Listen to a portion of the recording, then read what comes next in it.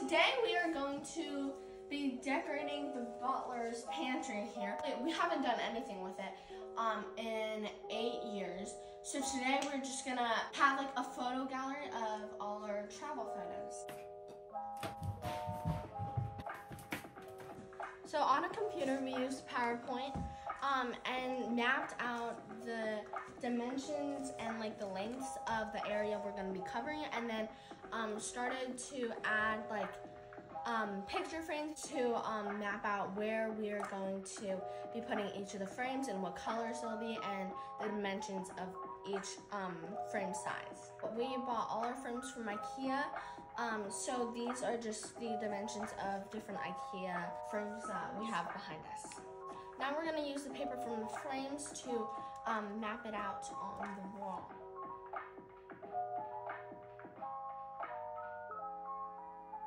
We ordered the pictures for the frames on MPix and um, here they are, so we're just gonna open them.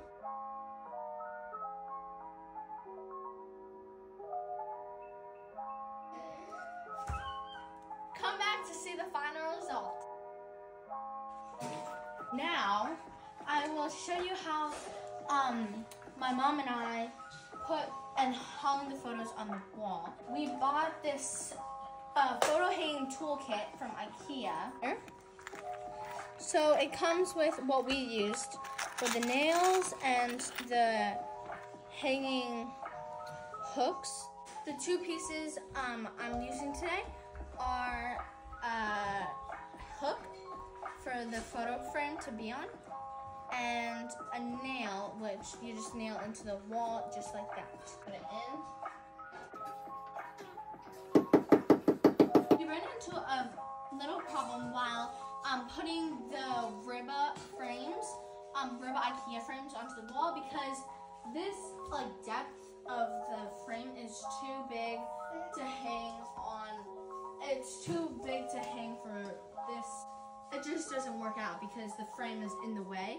YouTube was that if you have just a binder clip, you can slide it just like that. You can you just use this and hang it on.